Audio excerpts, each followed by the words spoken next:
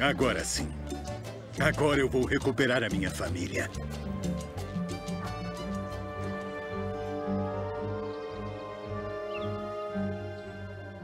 Mariana, filha. Oi? Quero falar com você.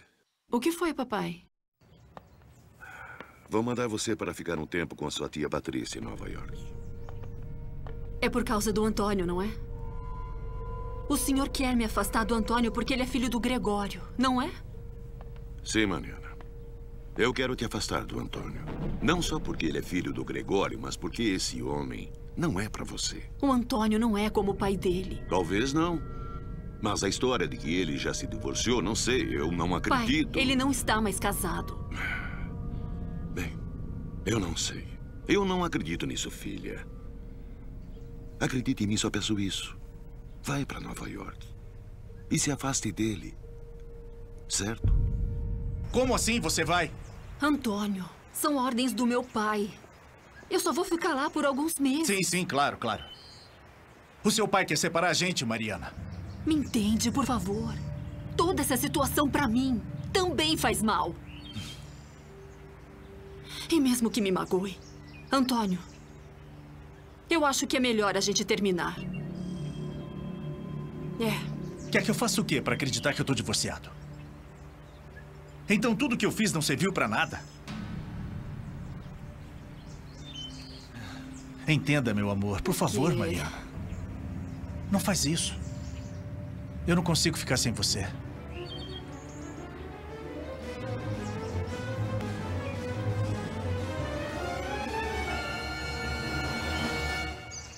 Pai!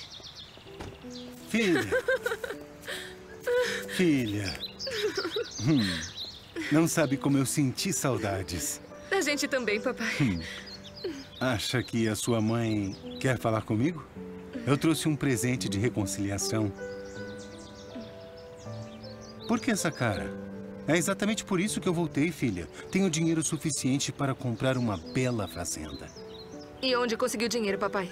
Calma, Camila. Olha, princesa, eu prometo que nunca mais vou voltar a jogar.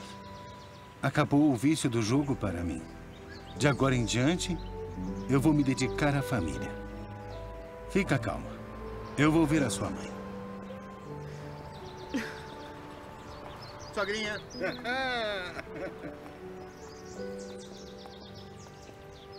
Bem, Camila, não importa o que eles falem ou que exemplo seus pais te deem. O amor não se compra, Camila.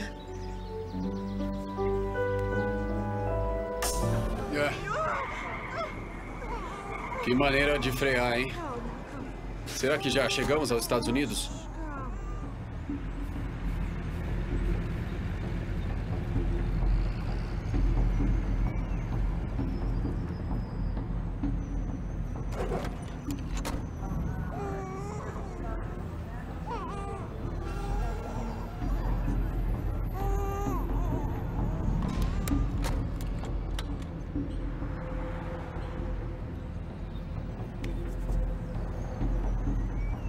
A gasolina que temos não vai dar para chegar até o aeroporto. Relaxa, papai, ainda é cedo. Sim, mas temos que atravessar toda a cidade. E o trânsito está muito lento. Tenho medo de chegar tarde. Ah, papai, eu não quero ir, por Ah, favor. minha querida, querida, minha filha. Desculpe, mas tem que ir. Eu vou comprar umas revistas para não ficar entediada no avião.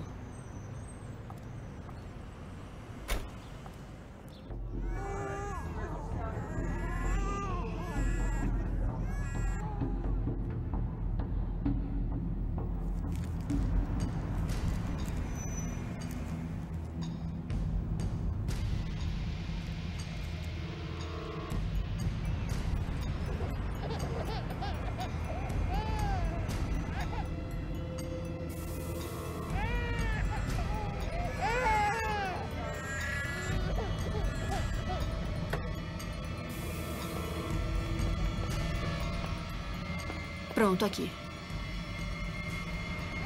Tudo bem, policial? Me mostre a carga do caminhão. Anda. Vai logo, abre o caminhão. Abre logo o caminhão!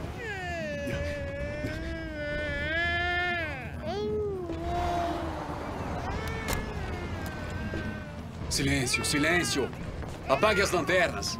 Apaguem!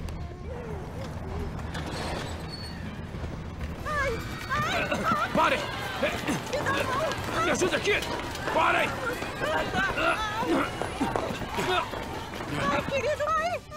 Parados! Parados! Não importa! Rápido, rápido! De volta pro carro! Vem. De volta pro carro! Vem, senhor. Parados aí! Fiquem Rápido. parados! Rápido! Continue É uma andando! ordem! Pro chão! Pro chão! A Eu não minha quero filha saber. está lá, Não oficial. importa, de volta pro carro. Entenda, por favor. Volta pro carro!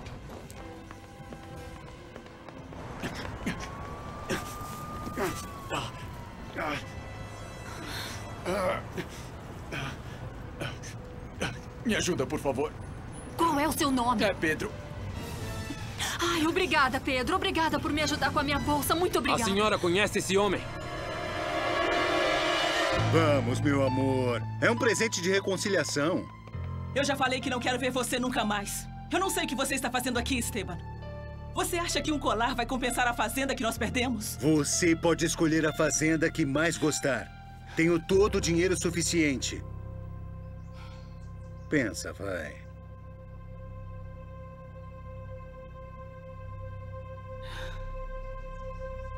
Alguma coisa errada, policial? Eu já falei pro senhor voltar pro carro.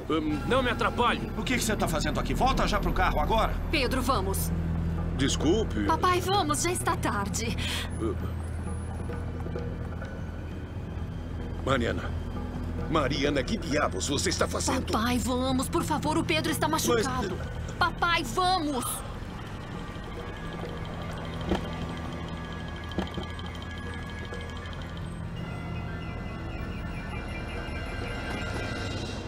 Camila, Armando, eu quero que saibam que eu e o pai de vocês vamos nos dar uma segunda chance.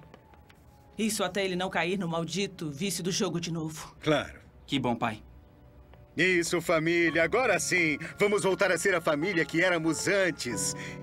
E vamos voltar a ter uma bela fazenda como a que tivemos. Isso vai levar tempo, porque temos que procurar, é claro, mas espero que em alguns meses a gente esteja na Califórnia. A gente vai pro Texas? Sim. Isso, queremos começar uma vida completamente nova. E por isso decidimos morar lá. Mas não conhecemos ninguém lá. Ah, não importa, Camila, não se preocupe. Vamos todos juntos conhecer a Califórnia e procurar uma nova casa. É só confiarem em mim e tudo vai ficar bem. Quero ver o que vai fazer, Valentim. Mas nessa época de colheita, quero que os trabalhadores não cheguem até o maldito velho. Eu o quero falido. Ainda não consigo esquecer do modo tão injusto que me tirou a Matilde. Ah, seu Gregório, como é esse Bernardo? E como sempre foi muito teimoso e não vai querer perder a colheita, é capaz de ir colher ele mesmo. Até para isso tem que estar preparado. E sabotar se for necessário. Que toda a colheita dele apodreça. Preciso que a talismã venha à ruína. Vai ser a única maneira desse infeliz me vender a fazenda. Quero ver o que vai fazer. Rápido, gente. Domitila, chama o Dr. Raul agora. Não, não o médico, não. O Raul não. Não quer envolver mais ninguém. Porque eles não têm os documentos, não é? Não. Pedro, você vai ficar bem, você vai. Ah. Você vai se recuperar. Ai, minha filha. Papai, por favor, vamos, vamos. A Graças a Deus que vocês cruzaram meu caminho. E eu juro pra vocês que um dia desses eu vou retribuir o favor. Vamos, papai, vamos. Vem. Ah, meu Deus. O que a senhora acha dos meus pais, vó? Vamos esperar que tudo fique bem, filha. É, mas é que meu pai jurou tantas coisas pra minha mãe. Eu sei. Por isso tem que rezar muito. Tempos depois. E aí, como está seu pé? Já está melhor? Ah, muito melhor. Graças a você e ao seu pai. Ah, imagina. Bom, na verdade, eu nunca pensei que entre um homem e uma mulher poderia existir uma amizade verdadeira. Quer saber? Eu acho que você é o irmão que eu nunca tive. É. Escuta, Pedro. Você sabe se o meu pai já mudou de ideia sobre eu ir para Nova York? Mariana, pode ser que quando nos conhecemos, as coisas deram certo para você. Mas, infelizmente, eu tenho que falar que vai ter que se mudar para Nova York. Não, não, não, não é justo. É que eu não quero me separar do Antônio. É. E o Antônio? Já recebeu os papéis do divórcio? Ai, nossa, como você tá negativo. Tá parecendo o meu pai. Quando vocês vão entender que o Antônio não é o Gregório? Hum? Tomara. Tá, não tem outro jeito. Eu vou ter que ir para Nova York.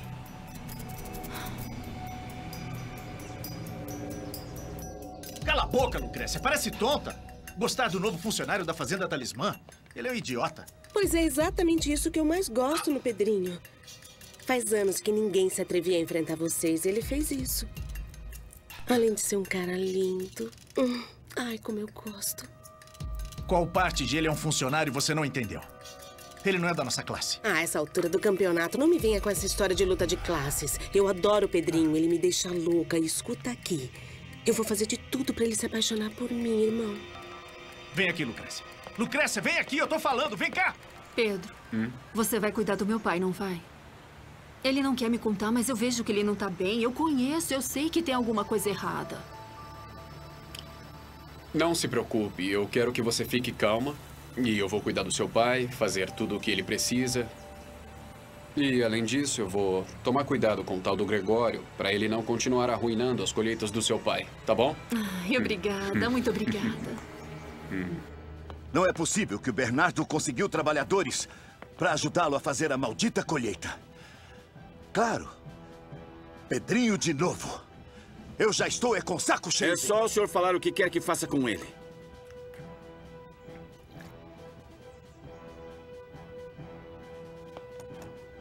Não, calma. Eu já planejei tudo.